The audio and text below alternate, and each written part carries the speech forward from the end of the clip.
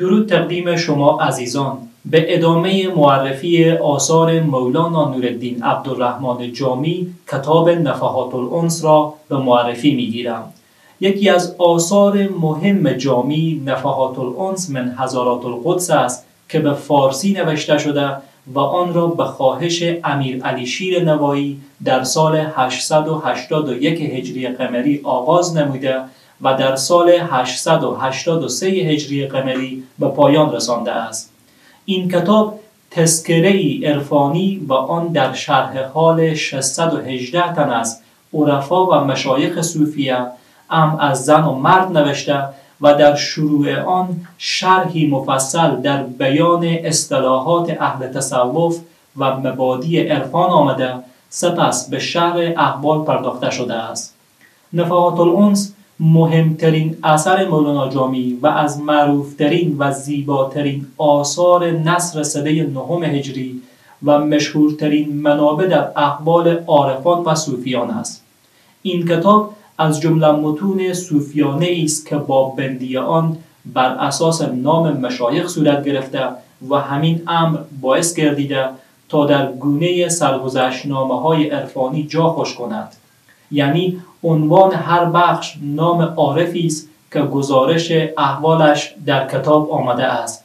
این گزارش ها در دو بخش تقسیم بندی شده است. نخستین بخش شامل گزارش مردان عارف است و بخش دوم شامل گزارش احوال سی و چهار زن عارف می باشد مؤخذ اصلی و نخست جامی طبقات صوفیه بوده و نیز از کتاب دیگری بهره جسته از جمله اسرار و توحید فی مقامات شیخ علی سعید ابوالخیر اولاد الاحباب و فسوس الاداب از ابوالمفاخر یحیی باخرزی تاریخ گزیده از حمدالله مصطفی تاریخ هند یا تاریخ فیروزشاهی از ضیاءالدین برنی تفسیر کبیر از فخرالدین رازی تذکرت الاولیا از شیخ فریدالدین عطار نیشابوری تمهیدات از عین القضات همدانی جواهر الاسرار یا منتخب مفتاح الاسرار از شیخ آذری توسی حالات و سخنان ابو سعید ابوالخیر از جمال الدین ابو روح الله میهنی حدیقت الحقیقه و شریعت الطریقه از سنایی غزنوی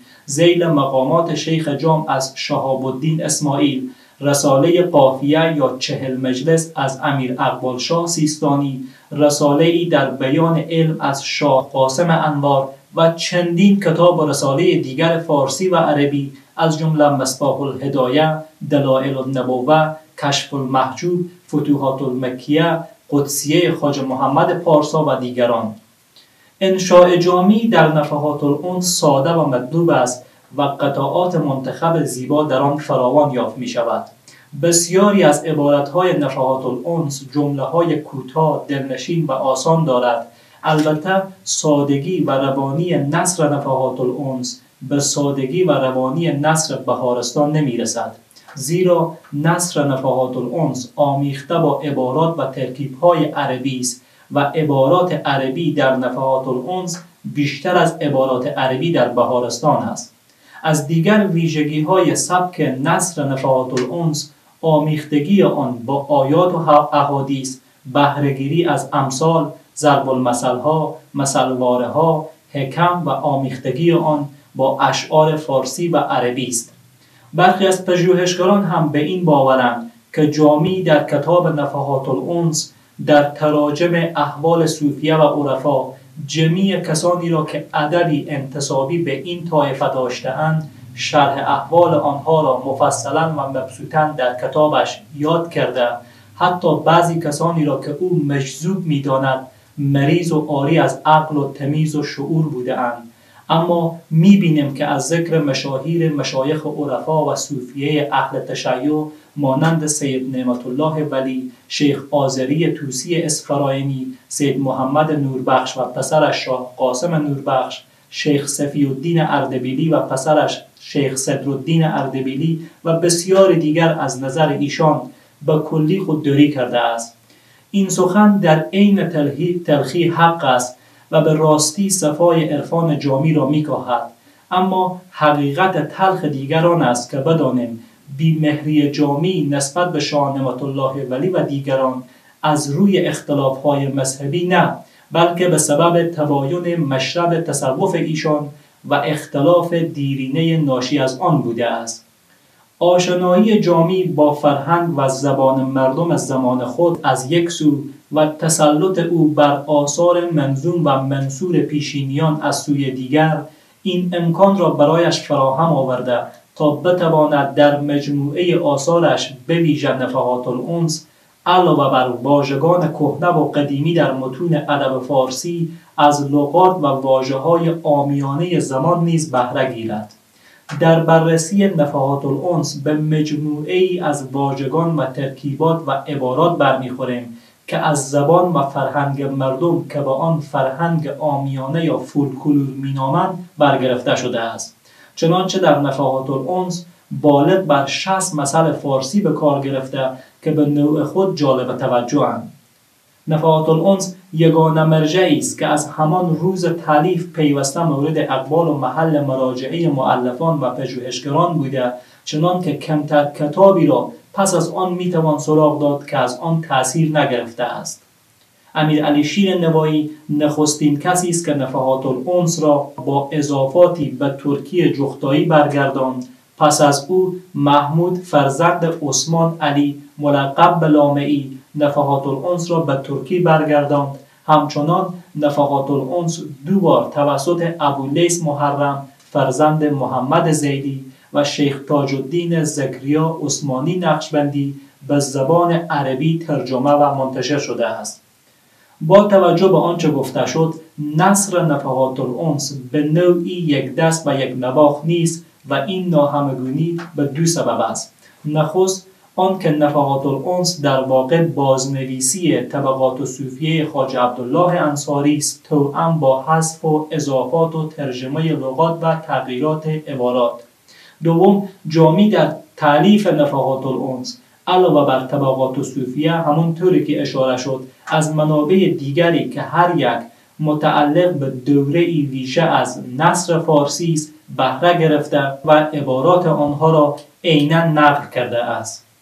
در ارتباط با نفحات الانس جامی تا کنون چندین مقاله و نیز پایان نامه نوشته شده است که هر یک با محوریت قرار دادن این کتاب در روشن کردن جنبه و وجهی از آن تاثیرگذار بوده است.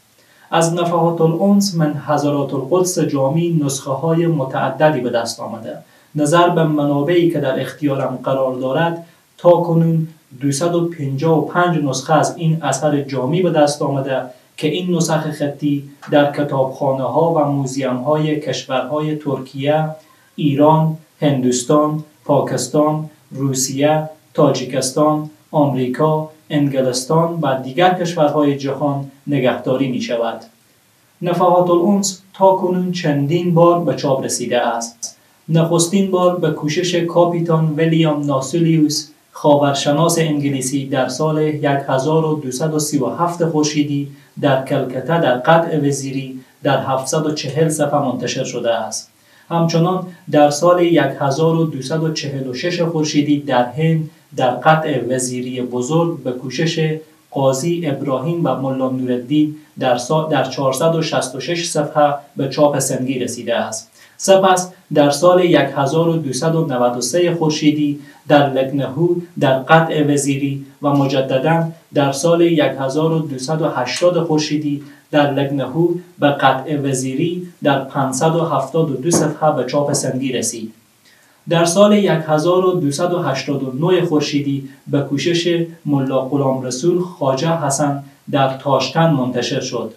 گزیده ای از نفحات الانس به کوشش علی محمدوف و اسرار رحمانوف در سال 1368 خورشیدی در دوشنبه تاجیکستان نیز منتشر شده است. نفحات الانس در سال 1391 خورشیدی به کوشش معتبر عاقل آوا و دکتر بهرام میرسعیدوف زیر نظر آکادمیسن ناصر جان سلیموف رئیس کتابخانه ملی جمهوری تاجیکستان در دوشنبه تاجیکستان منتشر شده است. در ایران نیز به سال 1337 خورشیدی به تصحیح مهدی توحیدی پور به چاپ سربی رسید. همچنین نسخه پاکیزه از آن با مقدمه تصحیح و طریقات دکتر محمود آبدی در سال 1370 خورشیدی منتشر شده است. همین چاپ در سال 1394 خورشیدی توسط نشر سخن در 1216 صفحه به چاپ هفتم رسیده است. نشر سخن نفحات الانس را در قطع وزیری و جلدی به رنگ زرد روشن که تصویری از یک صوفی در حال سما بر روی آن است به تب رسانیده است. از میان همه چاپ های گوناگون نفحات الانس جامی چاپ ناسیونالیست به متن نزدیکتر است. این بود معلوماتی کوتاه پیرامون نفحات الانس جامی که تقدیم شما عزیزان گردید. در برنامه بعدی اثر دیگری از جامی تحت عنوان رساله موسیقی را به معرفی خواهم گرفت. از توجه شما سپاس گذارم